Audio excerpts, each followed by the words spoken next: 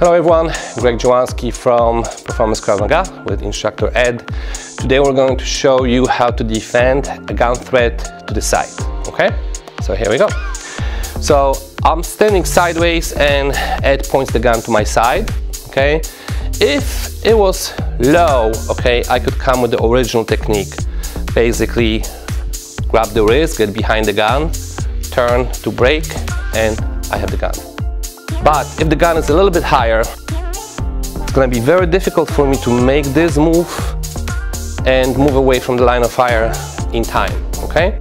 So from here, I go with the modified technique and I basically push the gun off my body, okay? So right here, okay?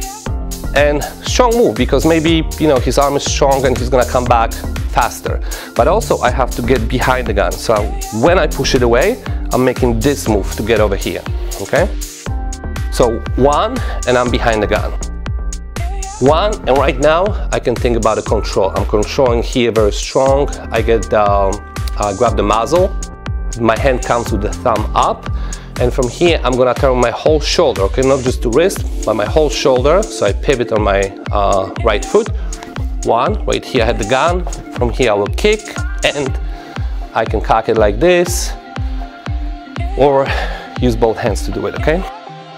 So again, one, and I have a control, okay? So practice that and we'll see you soon. Kida.